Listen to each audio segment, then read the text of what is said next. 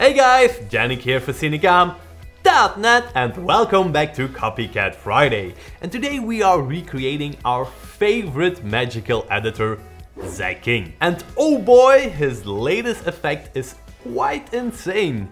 On his Instagram he often posts awesome editing magic. From playing football with himself to turning a cleaning mop into a dog. It's quite insane the tricks he pulls off. But to be honest, his latest trick really takes the cake. Or better yet, takes the watermelon. In his latest video you can see Zach selling watermelons. He starts with half a melon, but with some magic and a mirror, he transforms the half melon into a whole one. Then he cuts it and starts over again. Well, this destroyed my brain, along with Jordy's brain and Lorenzo's brain. So it took three guys to figure out this effect, and we're still not 100% sure. What we think he did was using a 3D watermelon. Now in his shots he was probably holding a green object with tracking marks. This way they could easily remove the object in his hand, use the tracking marks of that object to parent the 3D watermelon to. But the green object would also help with the interaction because now it looks like he's actually holding something and his hands don't float around. Now why do we think this? Well, here you can see his hand slide over the watermelon, so you can already guess it isn't really there.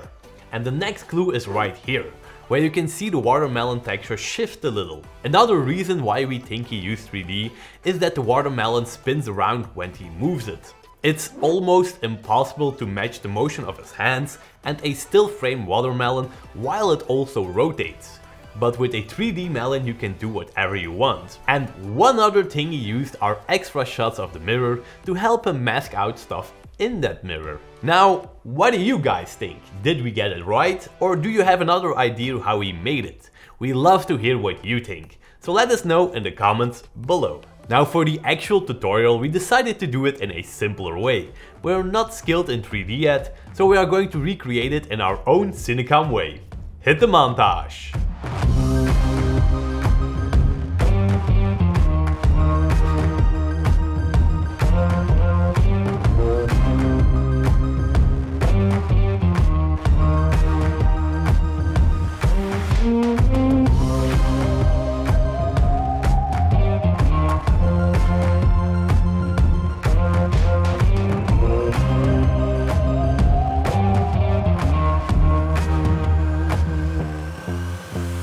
Alright, no VFX, only some clever tricks and Adobe Premiere Pro, but that's for later. Let's first have a look at the table that we've created, and you've just seen that we've drilled this hole into the table, and we're gonna use that to put in a ball. And we actually have two balls, because we're gonna need to cut one in half, and that's also why we have bought these foam balls, because they're much easier to cut in half while retaining its same shape so that whole bowl can go into the hole. So you can put it in there and we're gonna use the half bowl to start with and do our clever acting with and everything will be shot from a camera on a tripod. Super important. The camera is rolling, your talent is good to go. This is what that person has to do.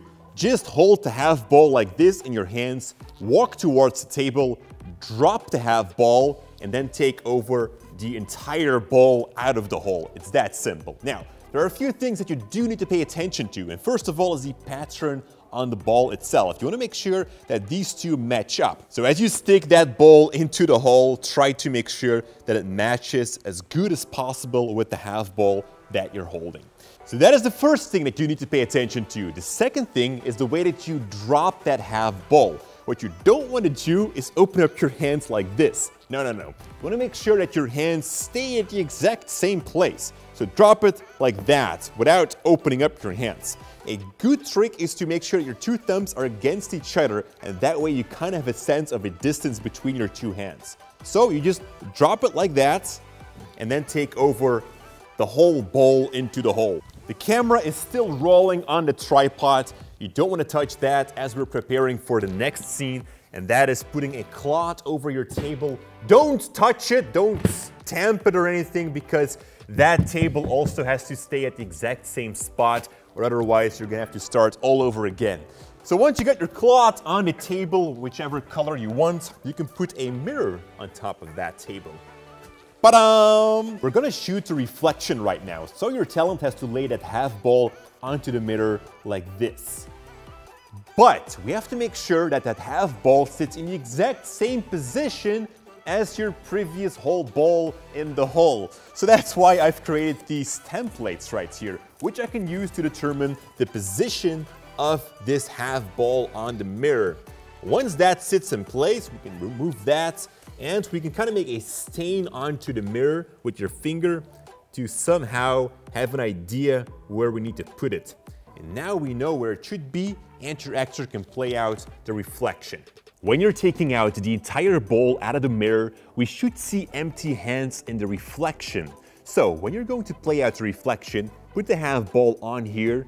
You want to keep your hands still, let someone else take out the half ball out of your hands and then play out the movement further.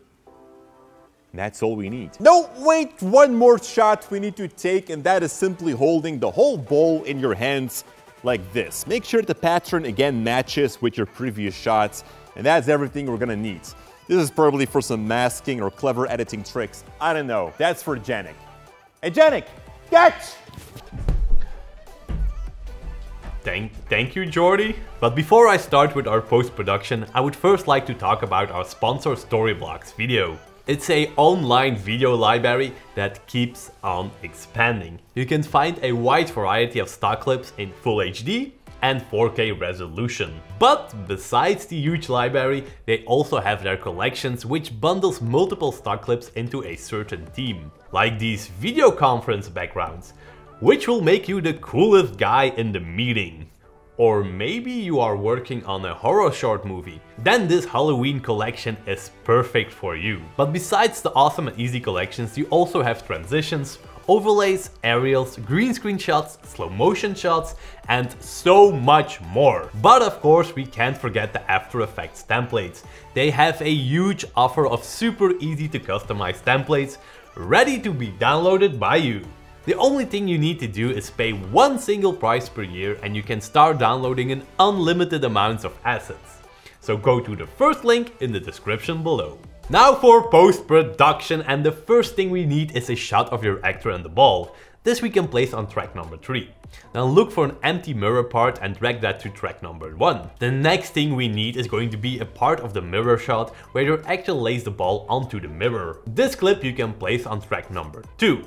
Okay, let's combine these three. First disable the second and the third layer and on the clip from track number 1 draw a detailed mask around the table. Now copy and delete that mask and paste it to your actor clip on track number 3. But you have to invert the mask. Then enable the top two clips again and select the clip on track number 2, the one where your actor puts the ball onto the mirror. Match the timing of this clip with the top clip and draw a small mask around the reflection of your actor's arm only showing this small part of the clip. What you now can do is move this around to really match the position of your actor. However, we also need the reflection where your actor is holding nothing in his hands while moving away from the mirror. Look for the point in your timeline where your actor pulls the ball out of the mirror. Here you can place the new reflection clip and also draw the same mask on it as the other reflection clip. Then we are also going to blend these two reflections. Select the cut between the two clips and right click on it. Apply the default transition and make this transition shorter. Now you normally have something like this right here. And as you can see, we need to animate the mask on the actor's clip so that it follows along with his arms. Try to make this as detailed as possible around his arms and hands. Then when he reaches the ball, open up the mask so it also surrounds the ball. When the actor then moves up with the ball, let your mask follow along, giving you something like this. Okay, we are getting there. Next up, hiding the falling ball. Duplicate the actor clip and look for an empty part between your actor and the table. Here you can add a frame hold. Now adjust the mask from this duplicate clip so it covers the empty part next to the table. You probably need to disable the invert option of the mask and also animate it so you don't cover your actor. Then let's go to the last part, bringing the ball back. Take your shot of the whole ball and place it on track number 5. Let it start just on the moment when your actor drops the half ball. Now position and scale it so that it matches perfectly with the original ball. This means also masking it to a half ball. Then duplicate the actor clip to the top and mask out his hands. Animate this for the entire length of the clip. Next, take the ball and animate it so that it follows the hands perfectly.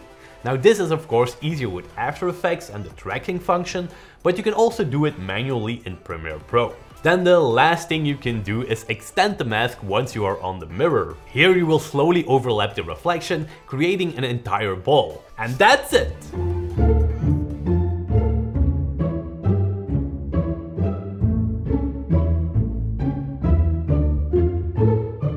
Time for a Janik's Fun Fact Fountain!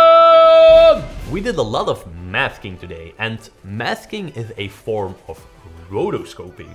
But where did this technique come from? Well, rotoscoping began way back in 1915 thanks to an animator named Max Fleischer. He wanted to change the world of animation, so he invented a technique where you trace over a live action sequence frame by frame to give the cartoon a realistic and fluid movement. With this technique, he gave us Betty Boop and Popeye, but also laid the groundwork for computer animation and modern VFX. Because today we use rotoscoping to remove unwanted objects or composite shots together. So thank you so much Max Fleischer for this awesome technique. And that was it for today guys. Thank you so much for watching.